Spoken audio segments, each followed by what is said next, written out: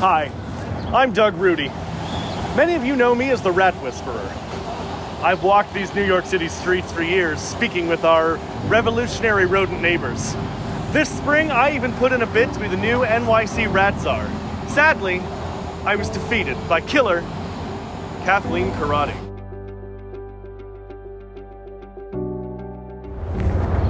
I may have lost the election, but I will not lose this fight. Today I announce my new organization. Rats are friends. Killer Kathleen wants to solve this rodent problem once and for all. What problem? Over the last five years, the human population of our great city has decreased by 5%, but the rodent population has increased by 23% over the last two years That's no accident.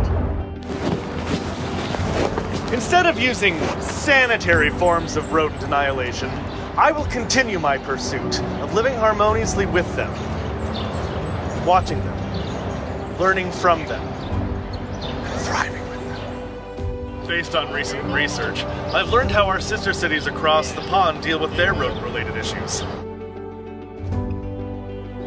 Instead of tearing down, their rats choose to build up creating wonderful new forms of art, food, and economic development. Why can't we let the rats right here in New York City do the same thing for us?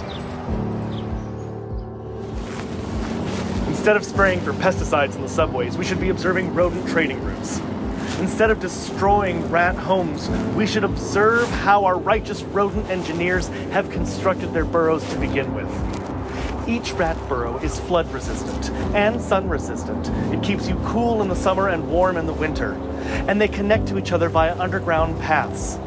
This way, rodents can travel at unexpected speeds and pop up at any parts of the city, increasing efficiency for our commerce and transportation networks by over 5,000%. My critics would say I spend too much time digging around in trash cans and not enough time paying my taxes. Oh, a rat!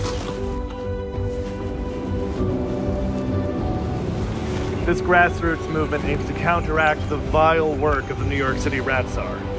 Every week we meet at a New York City park to study the wisdom of our new rodent friends. This Monday, if you'd like to join us, we'll be at Tompkins Square Park at 5 p.m. And remember, if you see a rat, say hello. It would be rude not to.